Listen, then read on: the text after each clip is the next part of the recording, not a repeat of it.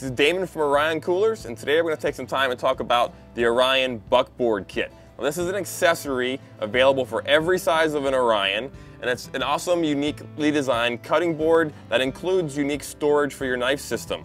So you have PakLite tools from Buck, stainless steel tools, held in with recesses with magnets on one side, and the other side is a cutting board with a drip ring. The configuration for the 25 and the 35 Orion, which is kind of more suited towards day trips. Comes with two tools, the, the spork, which has a bottle opener, a can opener, and the caper. So good for appetizer type things, 25 and 35, great for that.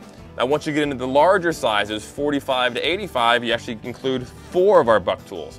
So two sporks, then you have the caper, and you have the boning knife. So if you want to use these as a butcher block, on the back side, you now have a drip ring and a full butcher block system. So if you're in camp, you have game down, you want to get to work on it, or you want to serve bigger meals, you have all the tools necessary, all in one place, always where you want it. It works in the Orion with the lid open, with the lid closed. Available online at your local retailer. Please check them out.